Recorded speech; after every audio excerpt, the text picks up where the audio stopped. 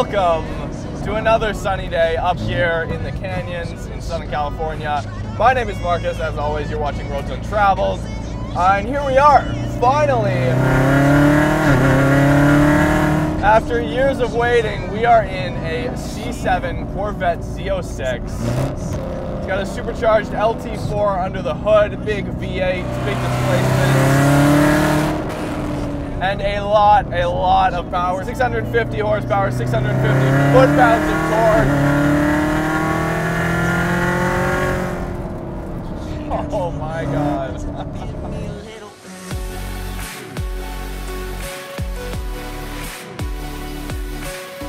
so yes, I would prefer if this was a manual. We have a solution for that.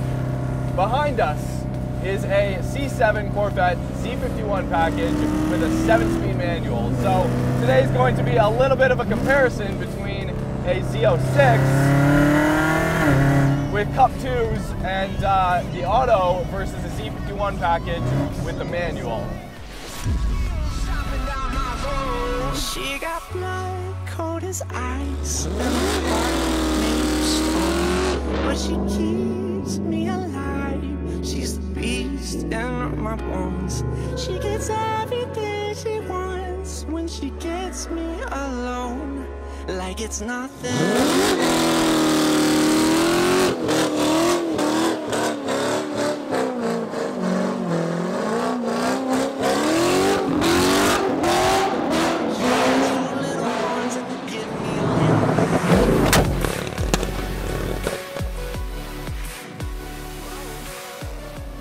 Always loved the heritage of the car, uh, classic American sports car. Started out kind of as like a cruiser kind of car and then eventually turned into a hardcore sports car and one of the halo cars uh, from America. So to see this car come to its evolution and where it is now and the package it is now in the Z06 uh, is very interesting. The only other Corvette I've driven was a bored and stroked C6 Z06, putting down about 550 at the wheels, all NA.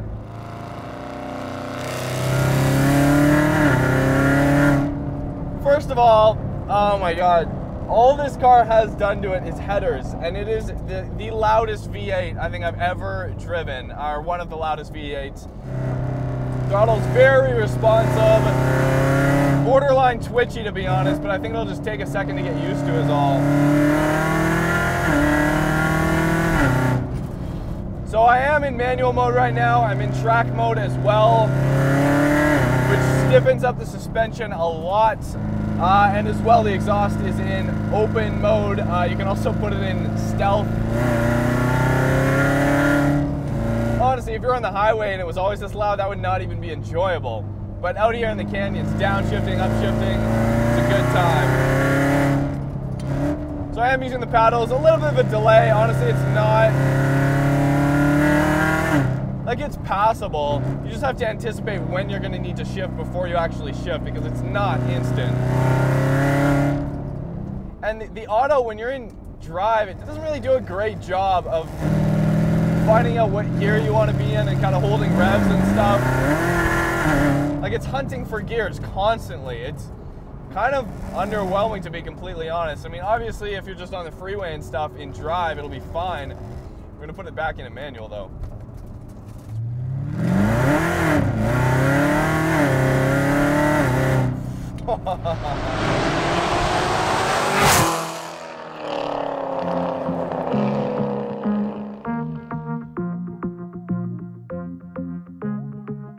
The Corvette has deep roots as a simple car. Not much to break, just brute force, and whatever ego is behind the wheel.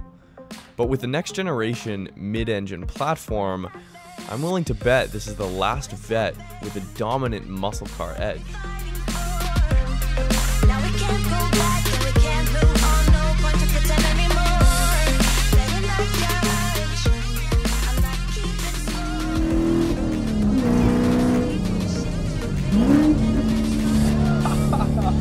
This is a C7 Corvette Stingray Z51 package.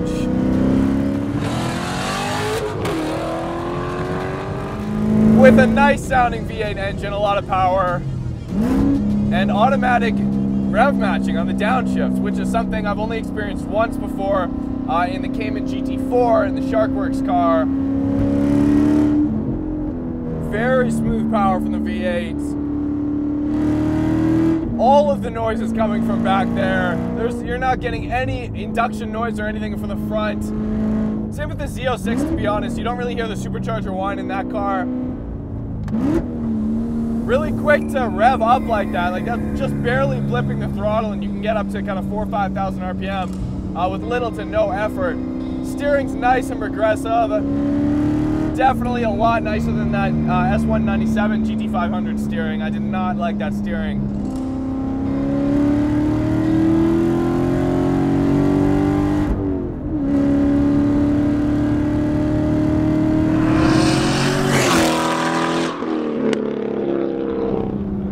Definitely does not get up to speed nearly as quick as the Z06, but not disappointing. It's got plenty of power, and this will get you into trouble. I love the manual. I absolutely love the manual. You have to have the manual. Honestly, though, in the Z06, I cannot imagine that Z06 with this transmission. Like, I can imagine it, but I can't imagine surviving it. Pretty much all third gear here. It just dives in the front end just digs in way more than I would have expected. Being from Canada and coming to the States, the cultures are very different. Yes, it's both North American, it's very similar, but the cultures are very different. Uh, and when we come down here, I like to experience America. American roads, American food, American cities, American people, and American cars.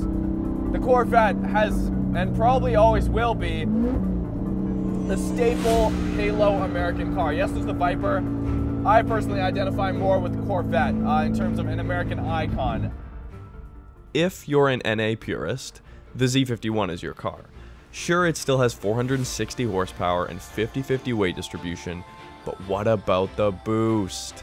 The Z06 Aerobits draw you in, and then you're smacked in the face with another 200 horsepower and the option for carbon ceramic brakes. Yes, enough to brag to your friends about that one time your car lapped the Nürburgring just 0.9 seconds behind a Porsche 918.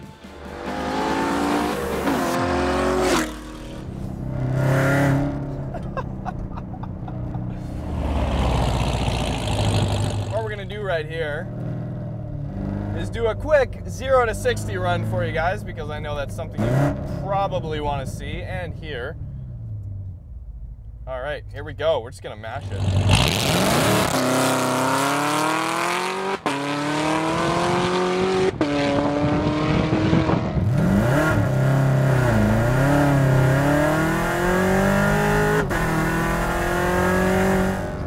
Miles an hour.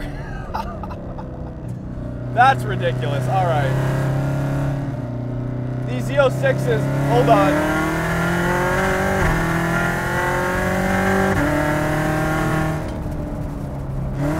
There's 12 miles an hour. That's as fast as we need to go today. From a styling perspective, I know a lot of people don't like Corvettes. The C6 ZR1 is a very good looking car. That in particular with like the gunmetal wheels and everything comes together really nicely. But the C7, a lot of people don't like the back end. When it first came out, the forums were going crazy about how they, they got rid of the circular lights. Oh no, holy crap. The worst, right? um, I don't mind it. I think this Z06 look, looks completely badass. It looks ridiculous, comical, uh, to say the least. I mean,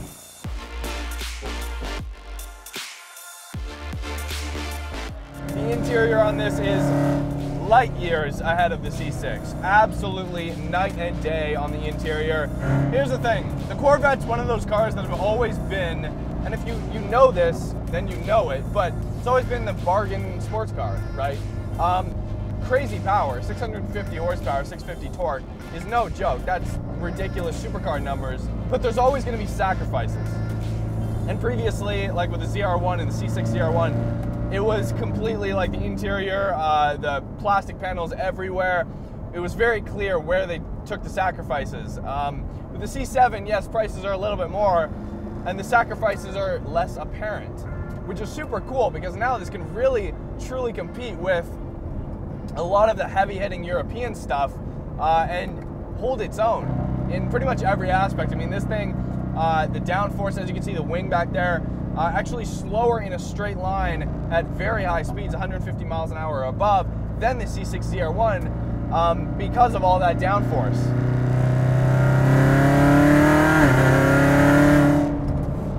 Definitely likes the big sweepers. Uh, Turning's really good. Got some nice meaty rubber, that helps as well. But you get the sense that if you give it a little bit too much torque on the exit, then it's just gonna get away from you real fast. As well, if you try to kind of trail brake into a corner, might get a little bit twitchy. Honestly, it's kind of all over the place. kind of freaky, but fun. All right, here we go.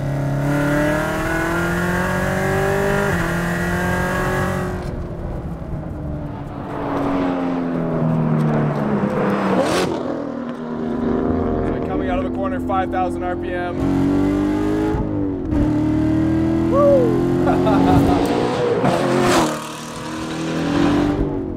Here we are, America. Here we are, America. Yes, the Corvette is an icon. Uh, a lot of people feel that with the C7 generation that they kind of started losing that traditional Corvette uh, feel. A lot of people, for better or worse, a lot of people actually enjoy the fact that the older Corvettes are just like extra shitty. Like the interiors fall apart, they rattle, um, but that's why you buy them. You get them for a track car. Nobody's really dailying Corvettes, I feel like. Uh, you could totally daily this, the C7, but older Corvettes, nobody really dailied them. So I feel like a lot of the community, the hardcore Corvette guys, got a little sour uh, or bitter when the C7 came out, and it was like better at being an actual car. Because cars, you, you know, you drive them on the street.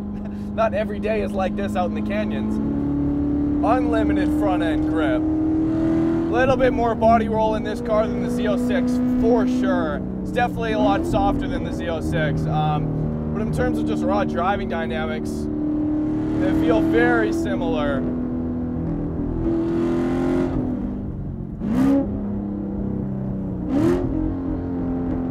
It's not an AMG in here, absolutely not. If you think that America has gotten to the point of the Europeans in terms of interior alone, they still have not. Absolutely not. That's not even a question. Um, but that being said, uh, this feels like much more close to a European spec interior on like a high-end hundred thousand dollar car than it was previous.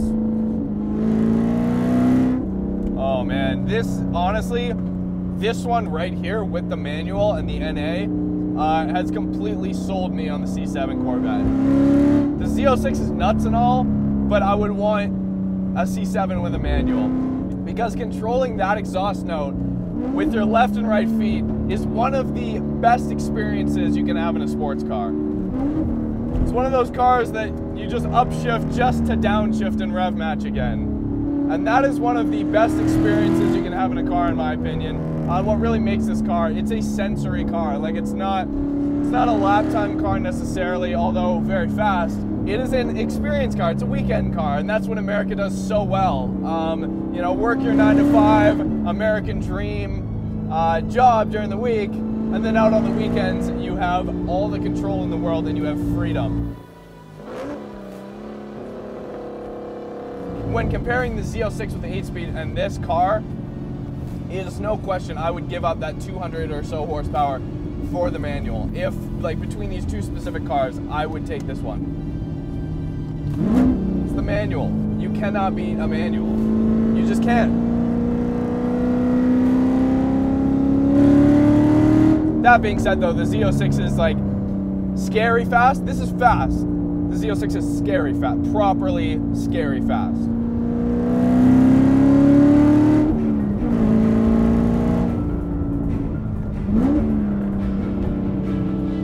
Guys for watching. If you haven't already, subscribe on YouTube. Uh, hit us up on Instagram at Roads Untraveled. We got a weekly podcast as well. See you next time.